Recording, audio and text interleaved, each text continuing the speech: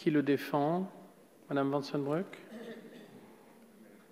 Oui, mais alors là, Sousa, elle ne peut pas Oui, à je la fois sous-amender. peut- Merci, Monsieur le Président. Donc, je défends un amendement rédigé par euh, Raphaël Gérard, pour qui j'ai une pensée euh, toute particulière. Ainsi, euh, nous portons cet amendement collectivement avec plusieurs de mes collègues membres de la délégation aux Outre-mer. Le présent projet de loi prévoit que seuls les établissements de santé publique et les établissements ou organismes privés à but non lucratif puissent pratiquer des activités de prélèvement, de recueil et de conservation des gamètes. Or, cette disposition est de nature à priver les couples et les femmes vivant dans les Outre-mer de l'accès à la PMA. En effet, il n'existe de ces causes qu'à La Réunion, et les difficultés des CHU aux Antilles-Guyane rendent peu probable l'ouverture à moyen terme de ces causes dans ces territoires.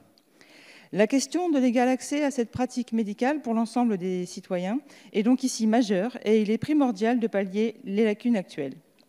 Au-delà de la question de l'égal accès à cette pratique médicale pour l'ensemble des citoyens, les associations nous font part des difficultés rencontrées par les afro-descendants pour accéder à la PMA en raison des pratiques relatives à l'appariement des caractéristiques physiques, le nombre de donneurs afro-descendants étant actuellement très faible.